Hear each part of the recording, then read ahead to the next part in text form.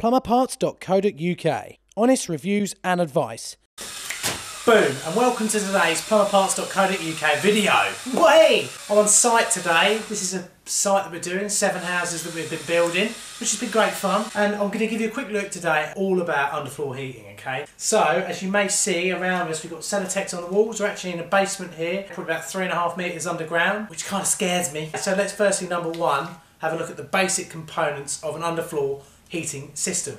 Boom. So firstly, as you can see, we've got Ecotherm absolutely everywhere. It's 100ml Ecotherm on here. And then what we do is we actually lay out our underfloor heating just like this. Very, very easy indeed. So you have your pipes. Each one of them gets stapled down by a small staple just like so. And to know where you're going to be putting them, we have a very nice company here that actually makes you a nice little map for you to figure out. So it's actually really, really easy to do, especially if you hold it the right way up like that. Next, you go into the the darkness of this place. So there we go, that's a bit better. So now, right, we can have a little quick look at this manifold here. We have our thermostatic control on here, our pump that circulates water through our manifold flow and then back to our return. And then also we've got our gauges on each one of here to basically balance the system like we would a heating system. Because obviously, if they're not balanced, water will quite happily come up through here from the flow, go down this first loop and then back again and not be forced to go around these two loops here. As you can see, we've got a couple of air vents on here as well will be using later on to purge the system and also we've got our in and outlets from our boiler here and here. Once we've got the underfloor heating down on here we've got the screeders coming in and they're going to screed a 75mm screed around the outside. Now the principle is, is you use all these pipes that are zigzagging around with nice hot water through them to actually warm that solid slab of concrete up and that will stay warm through the day and it gives a much more ambient temperature. There's no cold spots in the house or anything.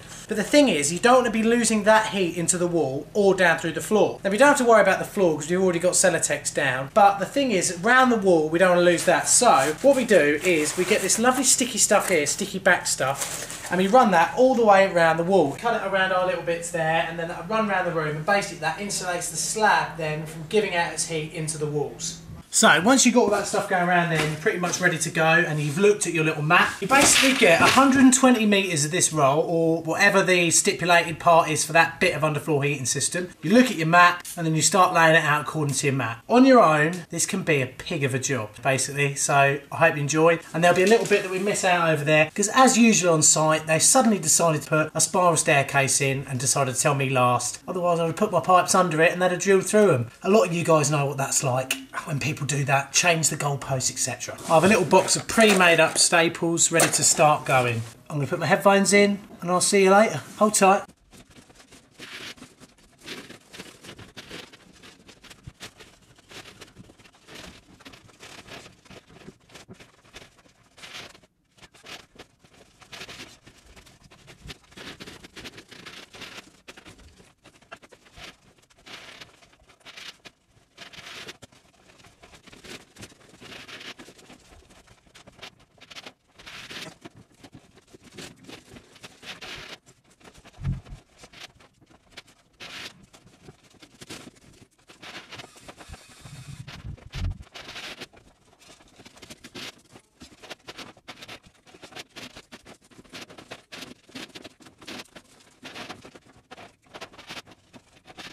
Right then, so as you can see, that's a complete nightmare to do. Uh, we've got our flow coming out here, we've got our coil here. So what I'm going to do turn this pipe up roughly so we think, give ourselves a little bit of slack as well.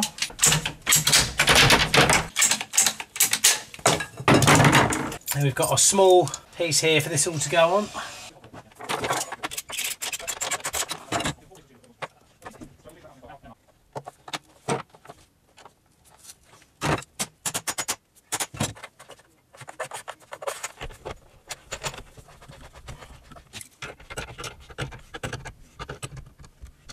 So there's our manifold there. Let's go back to the shed and I'll draw you a bit of a diagram so you get an idea about how these actually work. See you in a sec. Whoa! I bet you're wondering what this man is doing in a Christmas jumper. Right, so in the grand scheme of things, these systems have the usual boiler with a pump. Basically, you've got to see them as a zone in the heating system. So let's say we've got our pump with a two port valve going up to our coil in our hot water tank with a return going back to the boiler. Then we have, say, uh, a zone valve for the radiators upstairs in a house, blah, blah, blah, and they go back to the boiler like that. And then we have another zone that has its own valve and its own small jockey pump, which will make water go around the underfloor heating system. And that is going to be the bit that we're going to talk about on this very next, very, very high-tech bit of whiteboard. Right, so underfloor heating systems don't just supply burning hot water from the boiler and run it through the underfloor coil. That's the first thing you have to realise. So they have a thing called a thermostatic mixing valve. Okay, so let's have a look at the basic components of an underfloor heating system. Now, these can be different for different kinds of manifolds or different manufacturers, but this is the usual way of doing it, okay? So we'll have our flow coming from the boiler, and then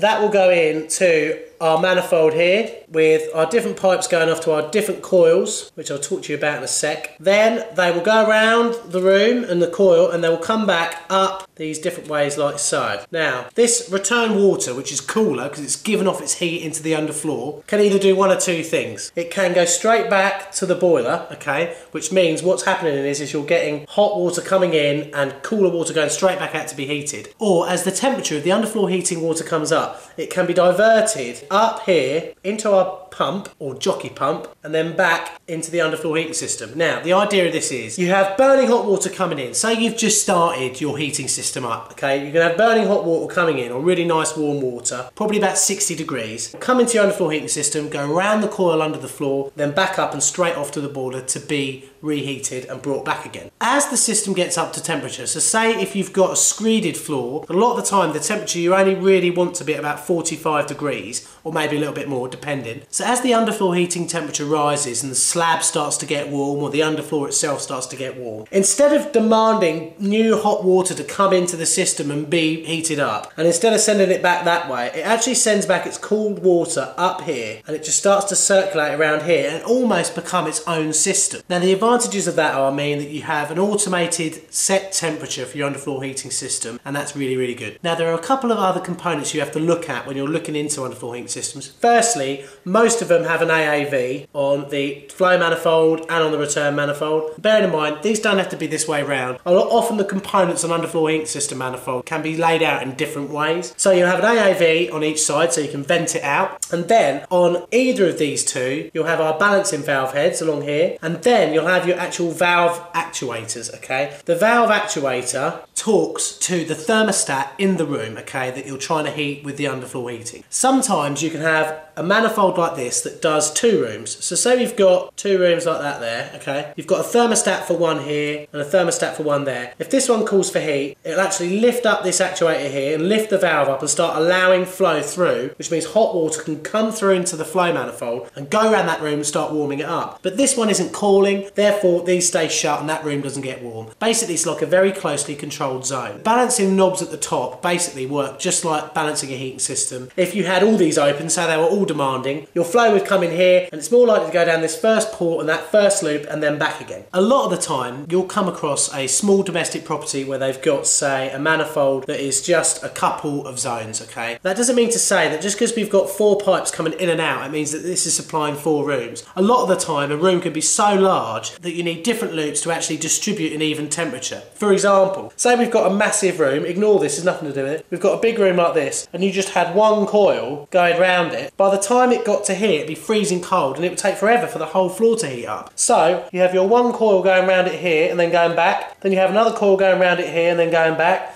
then another coil going around it here and then going back, which means then that it heats up the floor a lot more evenly and a lot quicker. That is basically a very, very brief overview about how underfloor heating manifolds work. This is not going to be the only video we do on underfloor heating, so please subscribe to our videos and you'll get updates automatically through YouTube about when those videos come up. We do upload videos all the time. We've got Ask the Plumber. If you need any more help or any more information, please visit our website at plumberparts.co.uk or you can email us directly at info at plumberparts.co.uk. As ever, really importantly, follow us on Twitter and like us on Facebook. Post and retweet loads of photos that you people send in of specifically plumbing disasters. As ever, if you need any more help, any more information, ask us a question. If you think we've left anything out, let us know. And we'll see you in our next video, which could be an Ask the Plumber. As ever, if you want to ask the plumber, just contact us direct and we'll see if we can answer your question in our next video. So remember people, there's one thing I gotta do out there, and that is...